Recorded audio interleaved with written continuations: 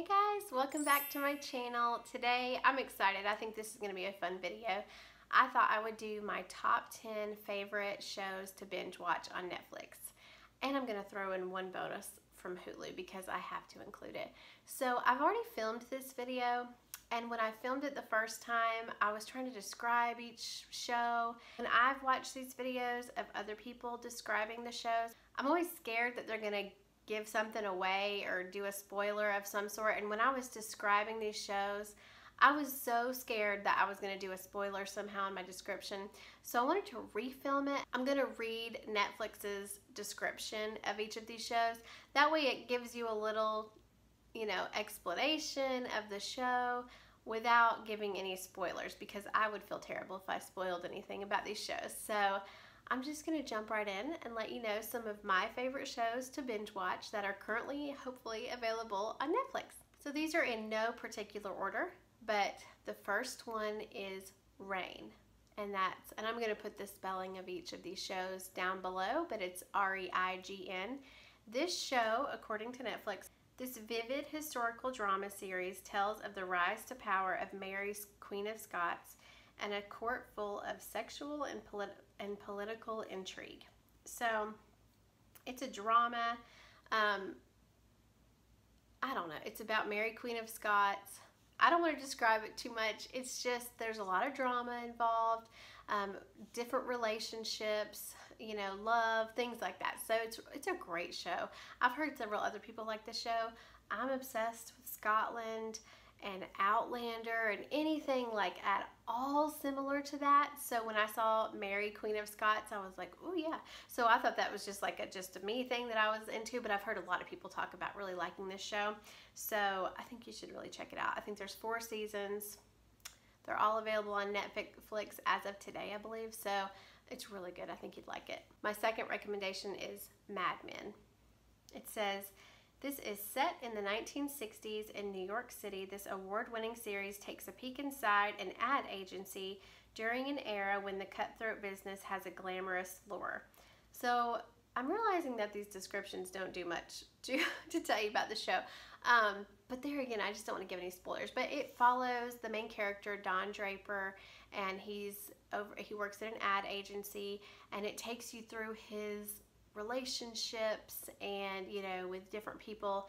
And it is like it said it was set in the 1960s i think it ends in the 70s um, but it's so true to the time to the decade that they do. Their clothing is amazing. Their style overall the set style everything is so true to that decade. And it's so fun to watch that. The characters are so interesting. And i this is one of my top favorite shows of all time. Um, this is such a good show. So number three is Call the Midwife. It says this period drama set in impoverished East impoverished East London in the 1950s follows a newly qualified midwife and her colleagues at a nursing convent. So there again, it kind of goes in their relationships and it shows you how they, you know, um, just the different characters' relationships and it's so heartwarming. I love this show and being a nurse, um, especially having done home health in the past and in this show they go into people's homes and they take care of them and it's not all it's mostly about midwifery and going to help people deliver babies but it's not all about being a midwife um, there are some there are some also just nursing aspects of it. And it's just it touches my heart i guess because i'm a nurse but it just reminds me so much of my home health patients and there are just some people that you get so attached to.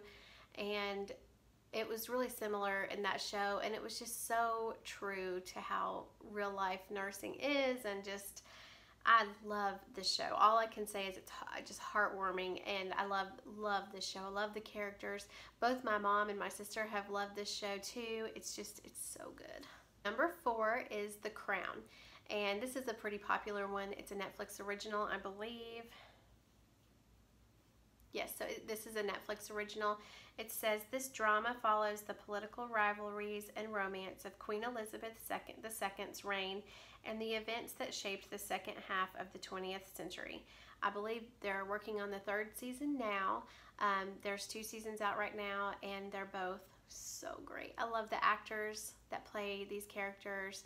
I love, um, while I'm sure it's not exactly, of course, perfect to real life, um, it's just fun to see inside the royal family and things like that. So I love this show. I think they have done a great job with this. So number five is another Netflix original. It's Grace and Frankie. This show took me a long time. I would pass by it on Netflix when I was trying to find a new show to binge watch, and I was like, eh, I don't know. Um, I put this show on the list because it's great, but it is hilarious. It had me laughing out loud so many times. And my sister agrees. She loves the show. It just makes you laugh so much. It is so funny. It says they're not friends, but when their husbands leave them for each other, proper Grace and eccentric Frankie begin to bond in this Emmy nominated show series. So, another thing that makes me laugh is that Grace reminds me so much of myself. And of course, not identically for either one of these comparisons, but Grace just reminds me so much of myself. and Frankie reminds me so much of my sister. And um, there again, just in little personality traits. So it, that kind of made me laugh even more watching the show. Um, but it's just a really lighthearted, it's just a funny show. I think you guys would really enjoy it. Okay, number six on my list is Parenthood. And this is right up there with Mad Men. This is one of those shows that when I was binge watching it, you know sometimes when you're reading a book or you're binge watching a show, it just like consumes you. And when it's over, it's so depressing. And this was one of those shows for me. It is so heartwarming there again. Um, it says four grown siblings juggle parenthood, relationships, careers, and more as they cope with life's up and downs in this drama set in Berkeley, California. This show had me laughing and just crying, and it is such a good show. Um, it came out in 2014, so this is one that's been out for a while. But if you've been on the fence about watching this, like I was, I never watched it when it was actually live on TV. Um, I started it really late, and there again, my sister watched this one too. She may have even, I think my sister got me started on this show actually. Maybe I got her started. Anyways, um, I can't remember, but uh, this is such a good show. It is just one of those that like just sucked me in, and I couldn't stop binge watching this show. Um, so good.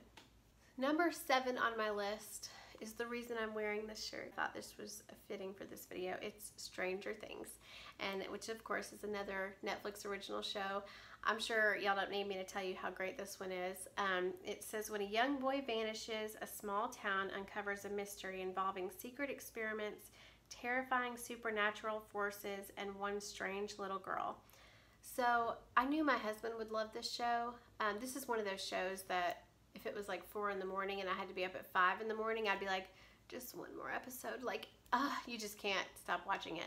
Um, I think it's set in the 80s, which is fun. There again, I guess I, I guess I love decade shows because it's fun. Um, I love how they do such a great job of setting it in the 80s. Um, but I finally convinced my husband to start watching this show and he binged it like crazy, which he's just not a huge binge watcher of shows. There's a select few, but very rare. And this is one that he did end up loving, which I knew he would, but it's such a one. And it's perfect because Halloween is coming up. So if you haven't started watching it, it's a perfect time of the year to start watching it. I used to be huge into scary movies. I'm not so much anymore. Um, but if you are avoiding this show because you think it's scary, it's a little bit creepy, you know. Um, but once you get past the first few episodes, it's really not scary, I wouldn't say. So if you're avoiding this because you think it's going to scare you and you're not going to be able to sleep all night, I really don't think it'd keep you awake all night. Um, but you're the judge of that because my sister is that way. She does not like anything scary and she loves this show. So number eight is The Tudors. Um, this has been, I watched this show years ago. Um, but it is one that I really, really enjoyed. It says, All the splendor and scandal of England's 16th century royal court comes to life in this series that follows notorious Tudor monarch Henry VIII. So it just takes you through all of his wives and the drama within that and everything. Um, but it's really good. And it's just, um, just the romance involved and things like that. I really enjoyed the show, even though, like I said, it's been years since I've watched it, but I do remember loving the show. Number nine is Breaking Bad. There again, this has got to be in my top three favorite shows of all time. That's so hard to say. I mean, Golden Girls isn't on my list, but that's probably my number one. But, anyways, it's hard to pick shows. But this is this is in my top three three of Breaking Bad. It says a high school chemistry teacher dying of cancer teams with a former student to secure his family's future by manufacturing and selling crystal meth. It can be dark, but it's so dramatic. It is just like keeps you on the edge of your seat. It the writers of this show did an, an incredible job of just they ended it right at the perfect note. You know, you never want your good shows to end, but they have to end on a high note or they don't end on a high note. Like using the example of Dexter, for example, because that was the greatest show ever, and then it just it didn't end when it should have. But anyway, Breaking Bad did. And um, ended on a high note. It is such a good show. So, like I said, it can be violent, it can be dark, but it's, I loved it. And number 10 is Sons of Anarchy. Um, it says, after seizing control of its town, gun running motorcycle clubs, the Sons of Anarchy soon butts heads with rival bikers, racist groups, and the law. You know, it's about a motorcycle group, and I mean, Charlie Hunnam is the main character, so you really can't go wrong there. Um, it's just a lot of drama in between this motorcycle group and um, or this motorcycle club and you know the um, violence drugs guns stuff like that. Um, but there's a lot more to it and it's such i, I loved the show. Um, it's been a couple years since i've watched it but this is one that i love to binge and i love the character dynamics there's so much drama so um, yeah this is definitely a recommendation okay so my last recommendation is kind of a bonus because it's from Hulu. It's not from Netflix, but I had to include the show because this show is amazing. It's The Handmaid's Tale, and it is a Hulu original. The only complaint I have about Hulu original shows is that when they come out, when a new season starts, it's one episode a week, which Netflix has just spoiled us. And when they come out with a Hulu or with a Netflix original, you get the whole season, so you can binge watch it in a couple days. And with Hulu, you have to be patient, and I'm just not patient. now it drags it out longer, so that's nice. But with Hulu, you just get a one episode a week, unless it's been on the, you know, unless it's already been out for a while, and then you get the whole season. But as it's a new season, you just get one episode a week. So that's my only complaint, which is a petty complaint. But um, anyway, this says Adapted from the classic novel by Margaret Atwood, The Handmaid's Tale is the story of life in the dystopia of Gilead. A total a totalitarian society in what was formerly the United States. Facing environmental disasters and a plunging birth rate, Gilead is ruled by a twisted fundamentalism in its militarized I'm using my reading skills on this description return to traditional values. As one of the few remaining fertile women, Offred is a handmaid in the commander's household, one of the cast of women forced into sexual servitude as a last desperate attempt to repopulate the world. In this terrifying society, Offred must navigate between commanders, their cruel wives, domestic Marthas, and her fellow handmaids where anyone could be a spy for Gilead, all with one goal to survive and find the daughter that was taken from her.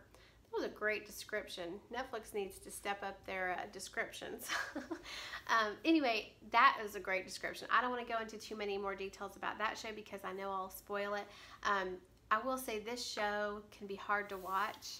Um, it's kind of scary. It's like it's when you when you're watching The Walking Dead, if you've watched The Walking Dead, it makes you think, well, what would I do in that case of an apocalypse full of zombies?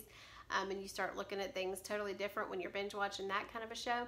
Um, but when you're watching The Handmaid's Tale, it's like, oh my gosh, what if that really happened in real life? And it really makes you think, and um, it's terrible. So it's definitely dark at times, um, but it's really good. This is one that I can't talk my sister into watching because she thinks it's just going to be too dark and disturbing, and it's really not disturbing. I mean, maybe, um, but I don't think it is.